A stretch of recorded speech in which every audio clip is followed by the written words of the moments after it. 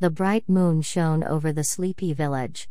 It illuminated a picture a perfect scene. Quaint homes were dotted for more than a mile across the ridge of the Kennet Valley, looking out over the rolling farmland of the North Wessex Downs. They housed just a few hundred people. This is Beenham, Berkshire. It's 50 miles from London, but, in 1966, it may as well have been a million miles from the 60s swinging in the capital.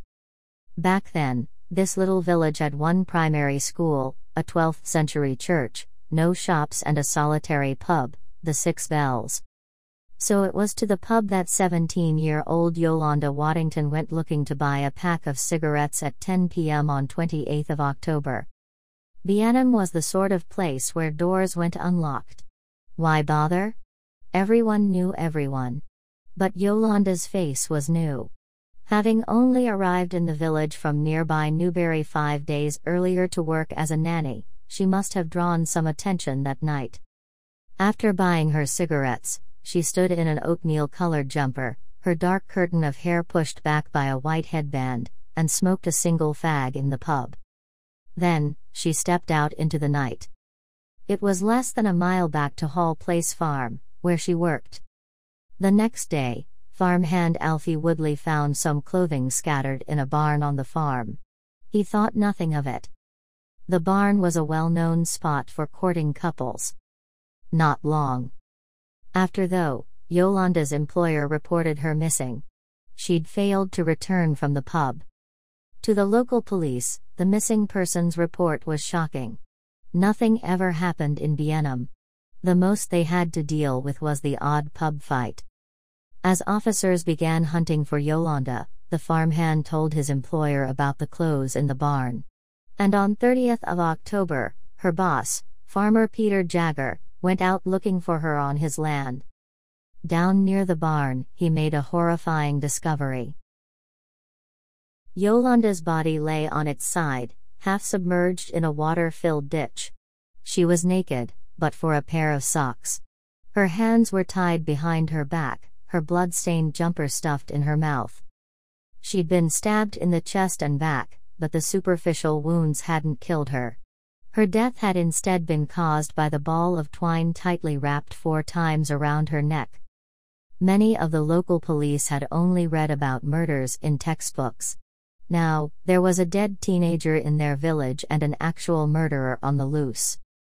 Due to the remote location of the barn, it was felt that the killer had to be local. But who in this quiet, innocent hamlet could do something like this?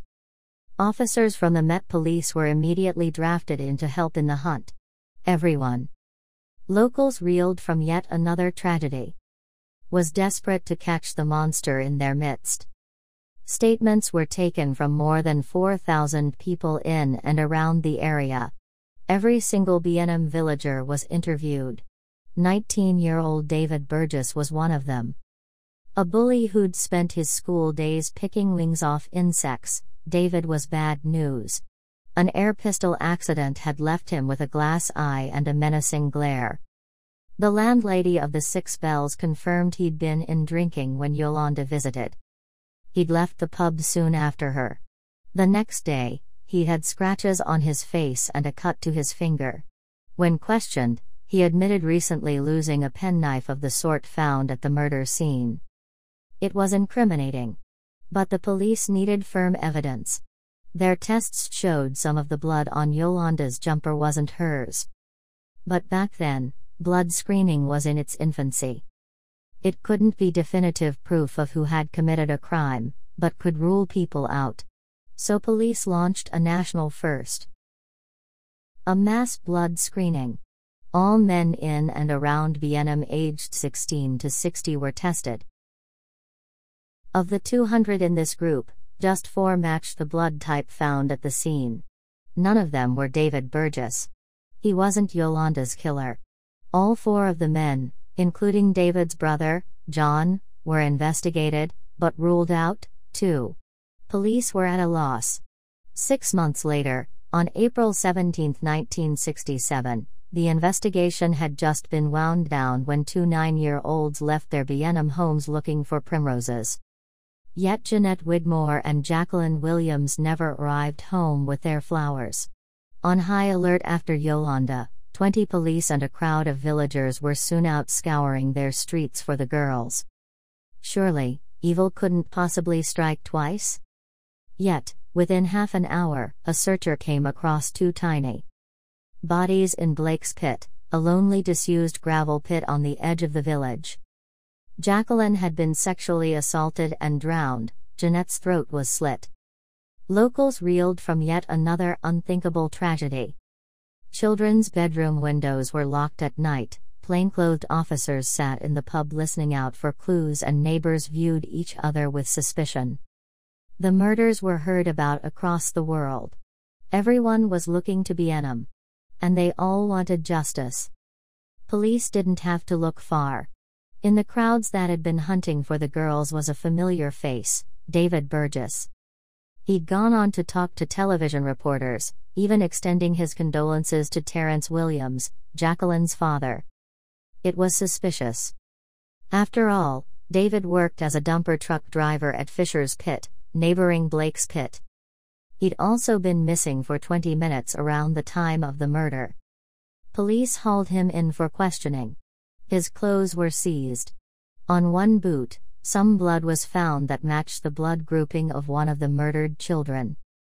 In July 1967, just four months after the killings, Burgess was convicted and sentenced to life imprisonment for the murders of Jacqueline and Jeanette. But did Beenham still hold another killer? In 1968, while in Durham prison, Burgess made a brazen admission to prison officers. On three separate occasions, he confessed to killing Yolanda. When detectives arrived at the jail on April 3, 1968, to quiz him, though, Burgess refused to repeat what he'd said. Instead, he taunted them, smirking, You'll have to prove it. The blood on Yolanda's jumper was once again tested. Yet again, it wasn't a match for Burgess. Police were back at square one. Time marched on. Yolanda's mother died without ever seeing justice for her daughter. The press clippings on the murders grew yellow, faded. But, to the people of Beenham, their lost girls were never forgotten, the town's innocence never regained. In September 1996, Burgess escaped from Leyhill Open Prison in Gloucestershire. Did the villagers he'd once counted as neighbors look over their shoulders after the news? Burgess was only recaptured 17 months later in February 1998, when he brazenly robbed a bank for £2,500.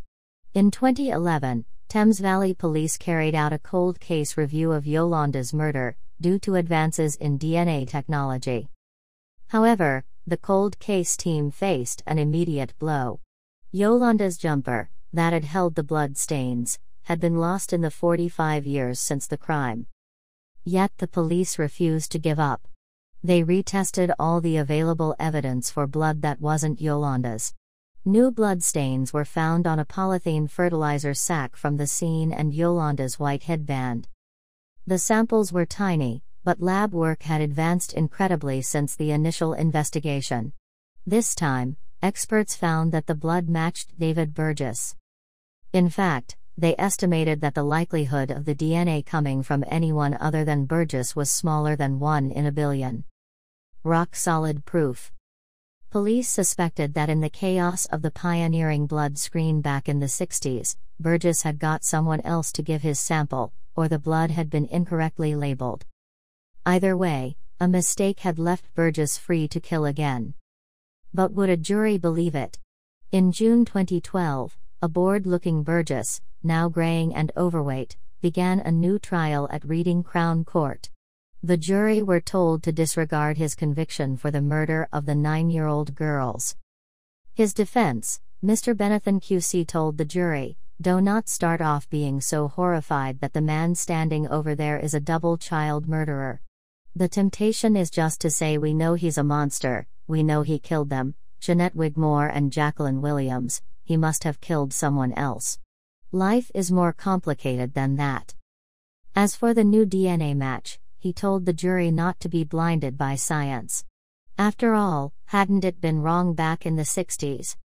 But times had moved on, and this jury trusted technology. After 45 long, painful years, David Burgess was convicted of Yolanda's murder in July 2012. The now three times convicted killer was jailed for an additional life term and ordered to spend a minimum of 27 years in prison. Burgess, 65, checked his watch and sighed loudly as he was told he'd be locked up until he was at least 92 years old. As he was led from court, he laughed loudly, the final petulant act of a heartless old man. After nearly half a century, Yolanda's family and the residents of Beenham finally have answers. Three girls died, an idyllic village was changed forever, but Burgess is paying the full price for his evil debauchery at last.